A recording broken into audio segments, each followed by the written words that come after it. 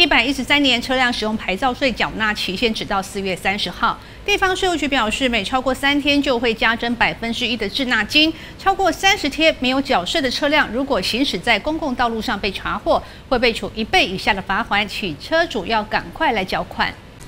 一百一十三年车辆使用牌照税缴纳期限直到四月三十号。地方税务局表示，每超过三天会加征百分之一的滞纳金，超过三十天没有缴税的车辆，如果行驶在公共道路上被查获，会被处一倍以下罚款，提醒车主赶快缴款。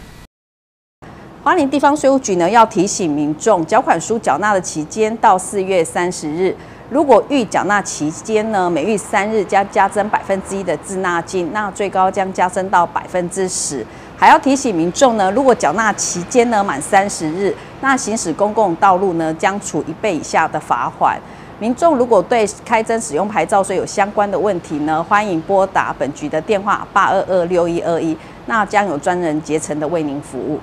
税务局表示，如果车辆在地震当中被毁损，可以向监理机关申请报废或者停驶，或者是凭修车厂证明提出减税申请。有任何疑问，可以拨打地方税务局专线来查询。